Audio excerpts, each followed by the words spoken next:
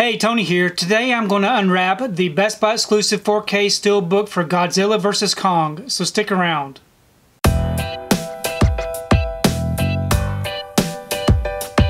So today I picked up my copy of the Best Buy exclusive Steelbook for Godzilla vs. Kong. This comes with the 4K Ultra HD, the Blu-ray, and the digital. Here's the front, and here's the back. Now if you'd like to read up on it and check out these special features, you can go ahead and pause and do so. Okay, without the J card on it, we do have this really nice colorful looking image here. There is no embossing or debossing. It is a lightly glossed steelbook. Really nice looking image. And then here's the back. Another great image of Kong and Godzilla. It is unfortunate that they did include the credits at the bottom, which I really don't like it when they do that. But we do open it up. Got a nice image here on the front and the back.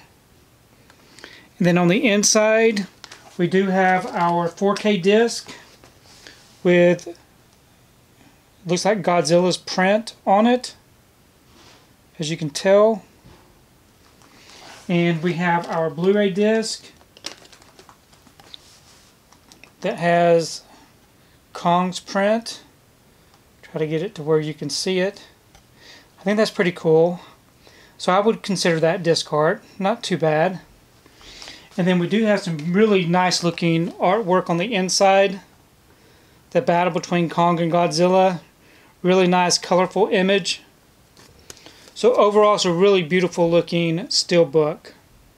So I've gone ahead and I placed this steelbook inside this protective bag. Now this bag will help keep the steelbook from getting scuffed up on the shelf up against my other steelbooks. I do have an affiliate link down below where I purchased these bags off of Amazon if you're interested. But overall I'm really happy with this. I really do like the artwork and very happy to have this on steelbook. I did want to go ahead and take time to show you the other um, pickups that I did for Godzilla vs. Kong.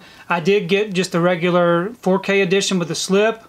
Really like the artwork on this one and I picked up the Blu-ray with the slip because of the different artwork. I really do like the colors. And I went ahead and picked up the three film collection. So we have Godzilla vs. Kong, Godzilla King of Monsters, and Kong Skull Island. So very happy to have all of this on physical media.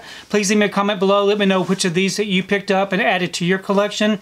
And also let me know what you think about Godzilla vs. Kong. I really do enjoy reading your comments. If you like what you saw here today, please give it a thumbs up and share the video. If you haven't subscribed to my channel, I would really appreciate it if you subscribe.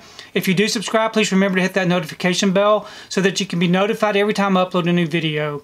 If you haven't found me on my social media accounts, I'm on Facebook, Twitter, and on Instagram. And if you'd like to find out what I've been watching, you can find me over on Letterboxd. I do have links below. But thanks again for watching, and we will see you next time.